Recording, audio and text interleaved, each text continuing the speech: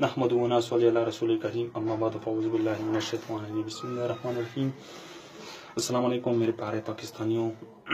آج مجھے social media پہ جو ایک آپ لوگ کو پیغام دینا ہے، وہ ہے گلگت بلتستان کے حوالے سے.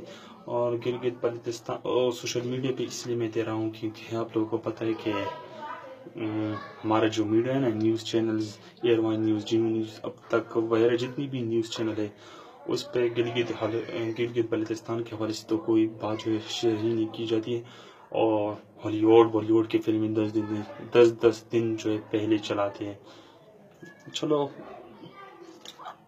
لیکن ابھی آواز بلند کرنا جو ہے ہمارے لیے بہت آسان ہے۔ اپنے سوشل میڈیا کے ذریعے جو ہے اپنا آواز بلند کرے اور آج جو میں یہ ویڈیو شیئر کرنا چاہتا ہوں، اسپیشلی ہے ایم ایس شگر کے لیے، جس نے کل جو ہے ایک ویڈیو شیئر کی تھی۔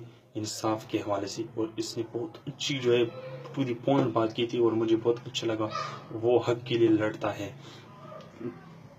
اور وہ اپنا حق مانگتا ہے، کوئی کسی سے بھیک نہیں مانگتا اور اس کا حق مانگنا جو ہے اس کا جائز ہے۔ اور میں خود کے کیسی اور میں ایم ایس شیگر کو جو ہے سپورٹ کرتا ہوں اور میں آپ لوگوں سے یہ ریکویسٹ کرتا ہوں please please M S Shigri کو یعنی محمد ثاقف کو جو ہے پلیز سپورٹ کرے۔ اور انشاءاللہ مجھے امید ہے کہ وہ جس راستے پر چل رہا ہے، اس کو جو ہے حق ضرور ملے گا۔ جس حق کے لیے وہ لڑتا ہے، وہ حق اس کو ضرور ملے گا۔ تھینک یو السلام